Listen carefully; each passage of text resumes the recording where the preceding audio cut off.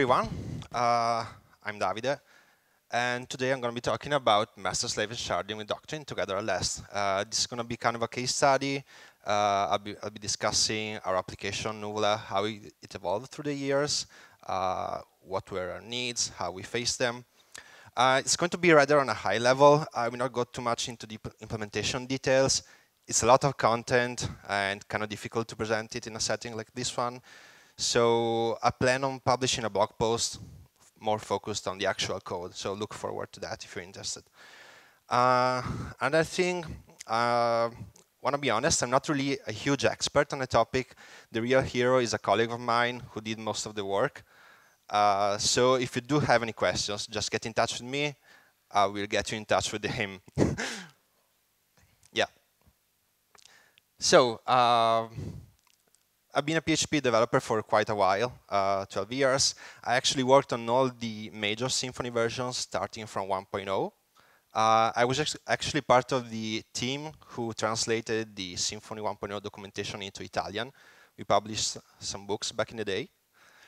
Uh, please add throws documentation to your methods. It's really important. Never forget about them. Uh, about Madisoft, which is my company, uh, we work remotely, which is very nice if you're interested, we are hiring. We uh, work on our software uh, Nuvola, which is a Symfony application created in 2013. It's currently on Symfony 4.3. Uh, it's a web application for schools, very complex. Uh, uses AWS and MySQL as a database. We are kind of a heavy hitter. We uh, have more than a billion queries every day. So that's kind of a lot. And that's why we try to optimize it in a lot of ways. The first one was sharding, which was introduced in 2014. So what do we mean with sharding? If you Google the term, you'll find a lot of definitions. This is what we mean with sharding. Basically, it's splitting your data into different databases. This is very simply put, uh, according to the main boundaries. For our application, that would be the school, i.e. the customer. Um, our setup as one global database, because that's needed, as I will mention later, and multiple tenants, which will be the database shards. Why and why not use sharding? Well, uh, the first reason, most important, why it was adopted is that you can scale it easily, more easily. Uh, each database is kind of independent, so if you wanted to, you could scale a single database without caring for the others. Uh, backups are going to be smaller and more manageable, so overall data is more manageable. Uh, it's also safer uh, because there are hard boundaries across databases, so you're kind of guaranteed that any sort of corruption will stay in one database and will not spread to the others. The major con is obviously uh, everything is way, way more complex than it should be, uh, both on the application side, on the infrastructure, and there could be a lot of manual data aggregation going on across different shards. You need to keep data synchronized. So that's also something you need to keep in mind. Other things to keep in mind when working with a sharded database. Uh, you always uh, need to remember where something is supposed to be living. Uh, it could be either in a shard, in the global database, or in both, which is kind of the worst of the three, uh, because it needs to be uh, kept in sync. If you edit something on a shard, the change has to be replicated in the master, and vice versa. So that's something you need to be aware of. Uh, another issue is that when you're working with sharding, you are working with sharding. So even locally, uh, that's something that has to be part of your workflow. And if you make changes to one database structure, you need to reproduce the same change onto the global database or vice versa. So you need to pay a lot of extra attention. So, uh, as I mentioned, our application uses Symfony, and we're using Doctrine as an uh, ORM. How do you impl implement sharding using Doctrine? Well, thankfully, it has something out of the box. There are two interfaces and a connection class. The two interfaces are Shard Manager and Shard Chooser. Shard Manager is basically uh, a manager which works closely with the connection object, and it will basically uh, update the connection depending on the configuration it is configured with. Uh, there are two groups of methods, one for directly uh, handling shard selection and another convenience one just for querying all databases. Uh, the shard chooser, on the other hand, is much simpler and it's basically uh, a function that we convert the distribution value, which is kind of the global identifier of a shard, into uh, the identifier that can be used internally by Doctrine. So rather simple in implementation. Um, this is how you configure sharding using a classical Symfony application.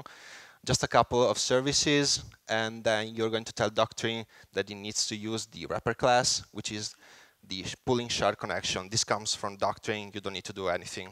It's out of the box. Uh, this is kind of rushed because we already talked about it. Uh, we have three articles on the topic.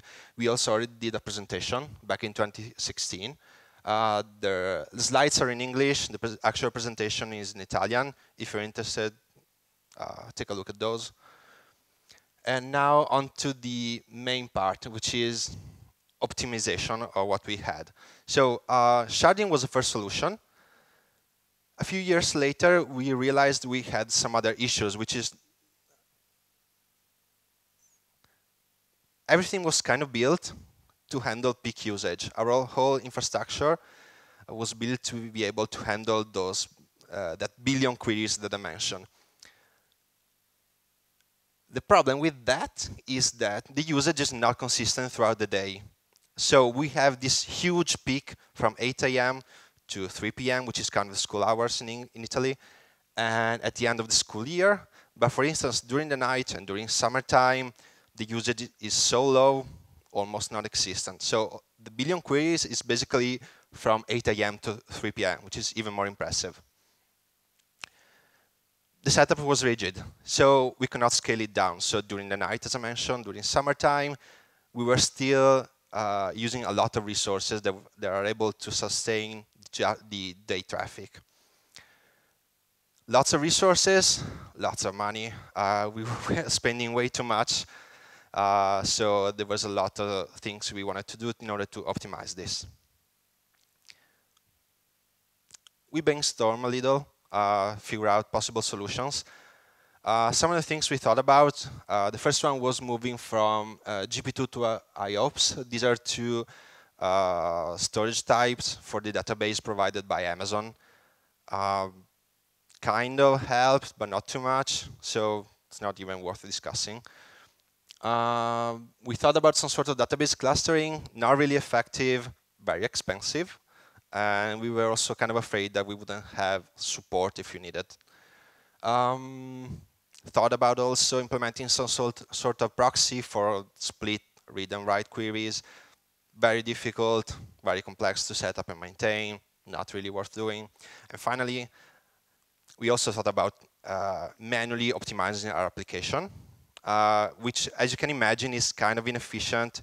Uh, it's very error prone, very difficult to maintain long term. So eventually, uh, we settle on using Amazon Aurora, and its master-slave features. Uh, Amazon Aurora is basically MySQL provided by Amazon, and you can use the auto-scaling functionality, which will provide you with master slaves for free, basically. Almost no configuration needed. Uh, just to be clear, what do we mean with master slave? Uh, this is taken from mariadb.com, so I'm confident it's true. Uh, master-slave replication enables data from one database server, the master, to be replicated to one or more other database servers, the slaves. The master logs the updates, which then ripple through to the slaves. Basically, this means that you're going to be writing to the slave and reading, oh, sorry, writing from the master and reading from the slave. Uh, this is kind of the extreme simplification, but just to have an idea of what this whole thing is about. you may be wondering, but you said you're using sharding. Now you're talking about using master slave. Are you moving to that architecture? Are you ditching sharding? Well, no. We are using both at the same time. Uh, our previous setup was working fine for us, so we did not want to change it. Uh, the problem with that is that Doctrine does not really support these two things at the same time. Uh, on the technical side, there are two different different connection objects. One of is for master slave and one is for sharding. You can only have one, basically. so we had to do some changes and do it ourselves. Uh, these are some of the things we found out on the process.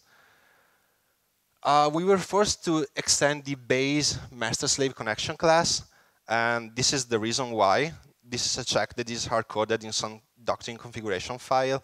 Uh, if, not, if we did not want to break everything, we were forced to find a way to keep that check true. So we had to extend the base master, master slave class. Uh, we also had to find a way to configure multiple hosts. Uh, this kind of more on the Doctrine bundle side. Uh, it provides just one host parameter, whereas we needed two. So our solution was just to pass them as a single parameter separated by a colon sign, and in our own connection class, just handle it manually. That worked as well. Uh, another weird thing we found uh, is with schema tool, which is a, a, class used mainly in the migrations library. For some reason, uh, it calls execute query instead of execute update. What are these two methods? Uh, they're part of the connection class, execute update is supposed to be sending uh, inserts, uh, deletes, and updates, of course. Whereas uh, reading queries are supposed to go through execute query. The problem with schema tool is that for some reason it was sending updates, deletes, and all of that using execute query. So when working with the master slave environment, you want, want to be reading from the slave, not writing. And going through execute query meant that uh, we were going to be writing onto the slaves, which was a problem. Uh, our solution to this was create uh, a patch that we maintain and we keep it locally. It gets installed during the composer install phase. Uh, we are thinking about opening a PR to fix this. To be completely honest, we are not sure if it's 100% correct. and this is the reason why we've not created the pull requests yet. Uh, it works for us, uh, but we are still kind of evaluating the impact. Uh, okay, so the main thing in this whole process was the custom connection class, which was, of course, named master-slave pooling shard connection. Uh, it's basically a mix of these two connection classes that are provided by Doctrine It kind of inherits everything from the master slave class, and then we copy pasted what we needed from the pooling shard connection class. So kind of a mixture of both. The real customization we did was uh, overriding the instances where the connection property was accessed.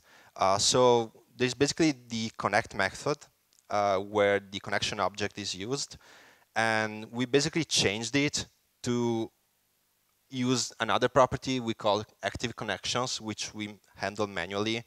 Uh, it's mostly the same, just there is an extra layer using the shard ID. Uh,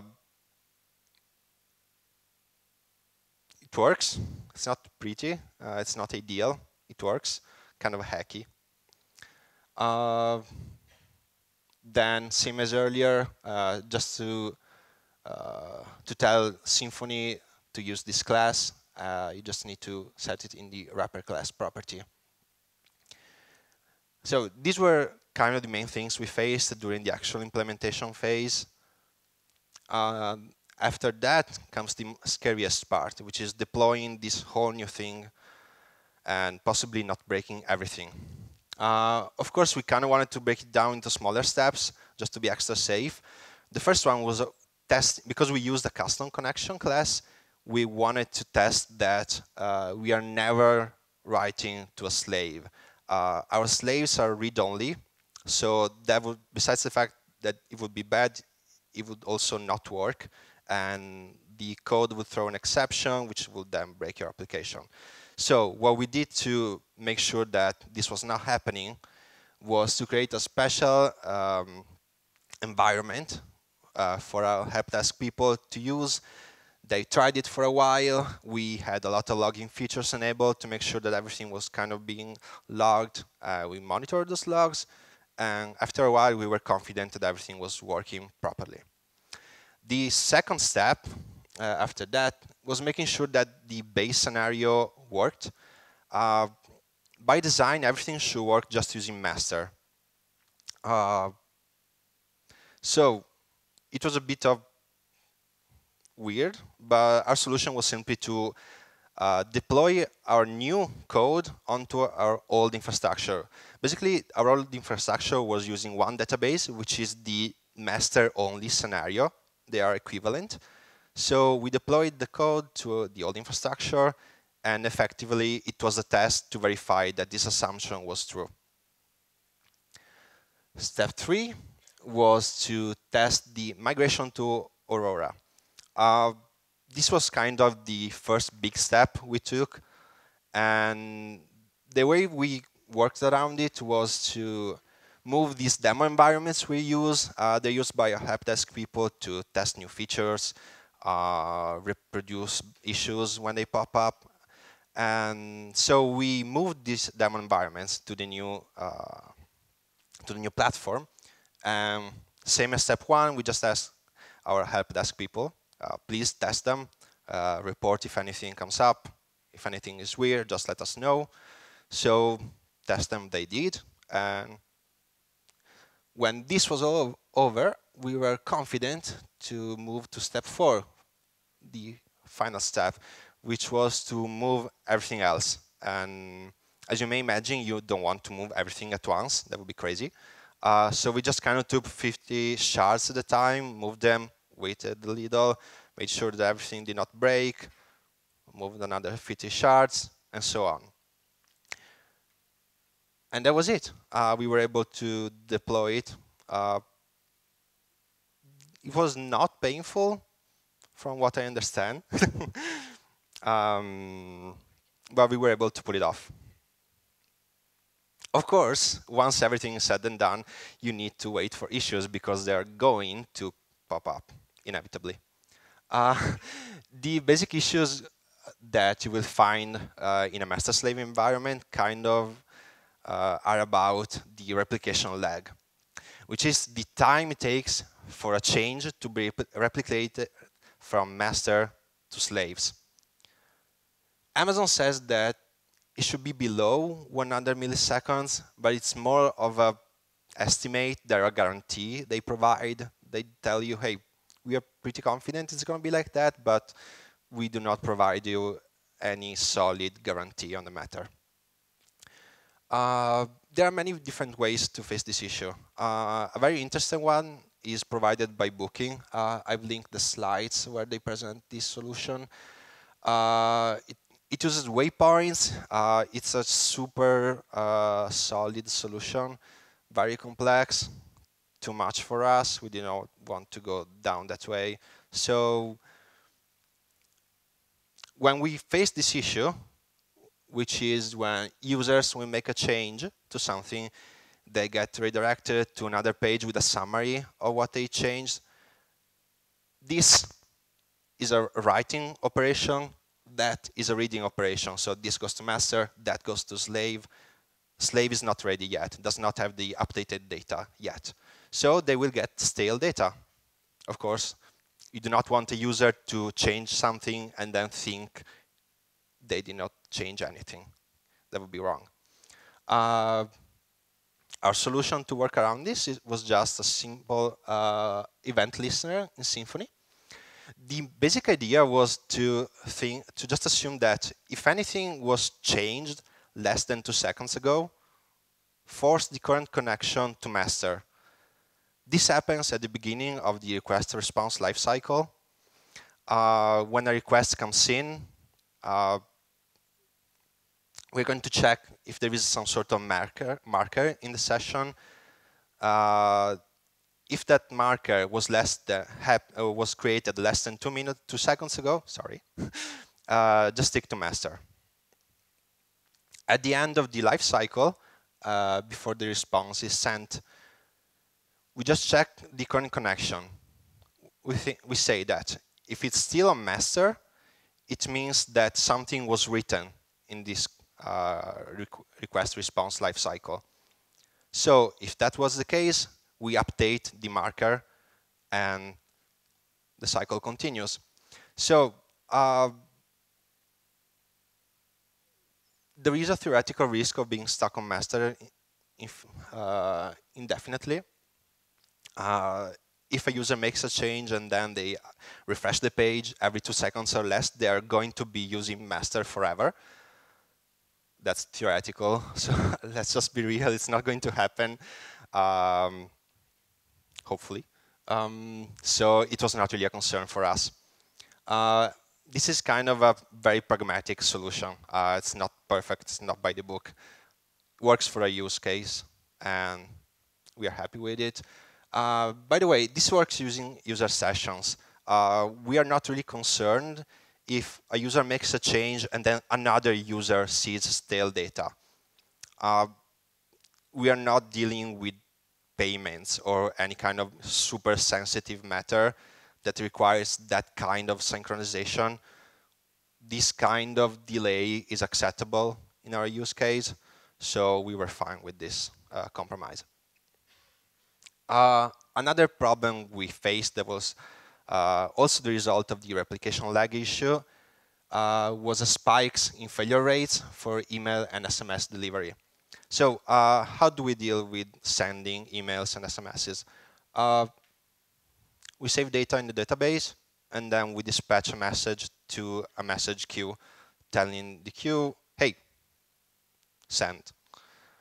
The problem with this uh, was that sometimes uh, the queue consumer will try to look in the database for the new data, and it will not be there. It could be either because the transaction was not completed, uh, because the delay prevented the change to be replicated uh, to the slave. So the slave is not re ready yet.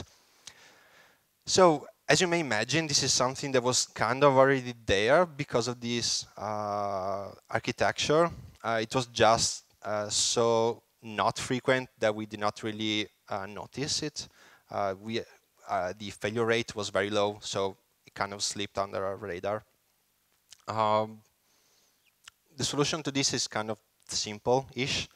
Uh, you can you could create some sort of artificial delay to the consumer, just wait a couple of seconds, things like this. You could implement some sort of exponential backoff logic where the consumer will retry every few seconds until the message is ready, uh, the um, database is ready. There are a few ways around this. Pick the one that works best for you. So all in all, uh, are we happy with all of this thing we've done? Yes, uh, of course we are happy because we are saving a lot of money. And that was kind of the goal at the beginning, optimizing in order to save money. Uh, some things are not by the book, really. Uh, some things are kind of hacky. Everything works for us.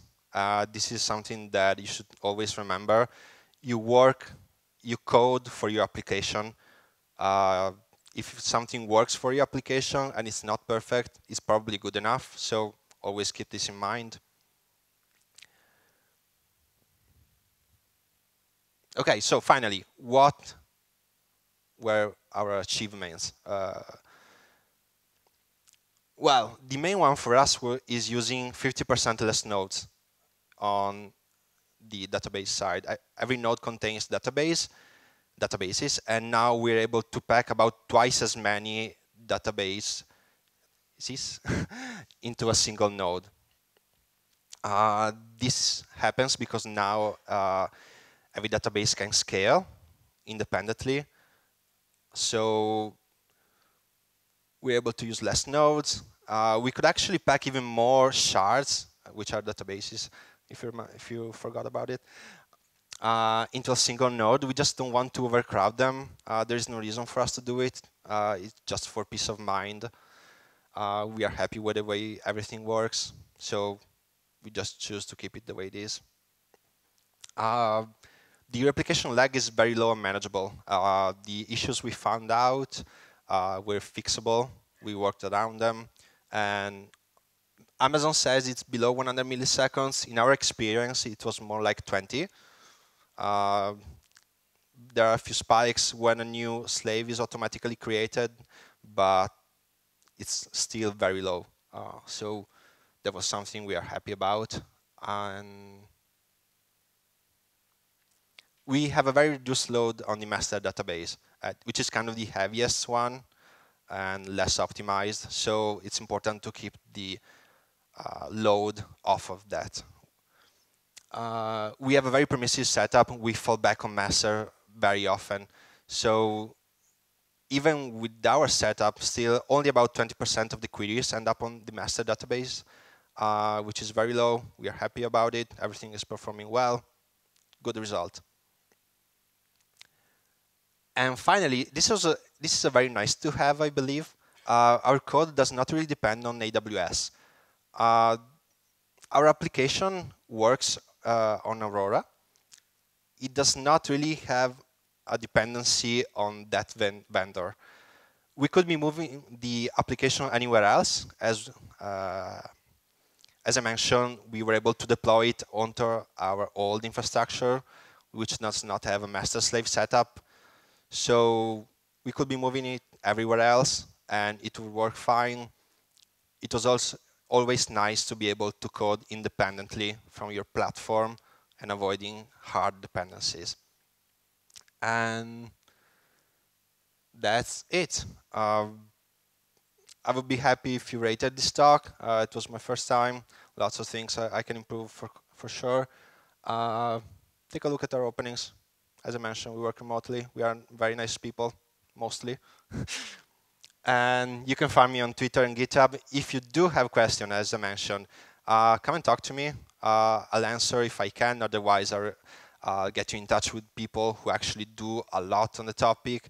Um, we have a, a, DevOps person who is extremely skilled. He, he can, could not be here today, but he told me that if you are interested, you do have very infrastructure-based question, just talk to me. I will get you in touch with him, and he'll be happy to help you. And that's it. Thank you.